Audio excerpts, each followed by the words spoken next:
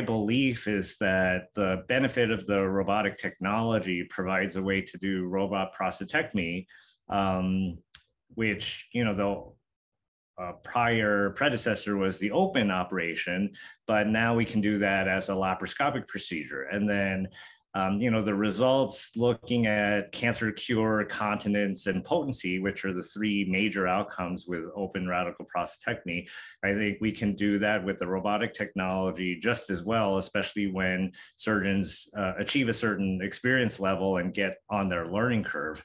Uh, but the benefits of laparoscopic surgery then really um, are, you know, you, they're very different difficult to duplicate in the open setting. So because of the bigger incision, you have more pain. And so, you know, that's just difficult to get around. The laparoscopic approach is very beneficial for men undergoing prostate cancer surgery because a lot of the bleeding that comes from an open radical prostatectomy comes from small open veins in the pelvis, of which there are many that live around the prostate. So it's really difficult to control all of that slow oozing um, during open surgery. But with the laparoscopic approach, it really pushes shut a lot of those small veins and so the bleeding is much much lower.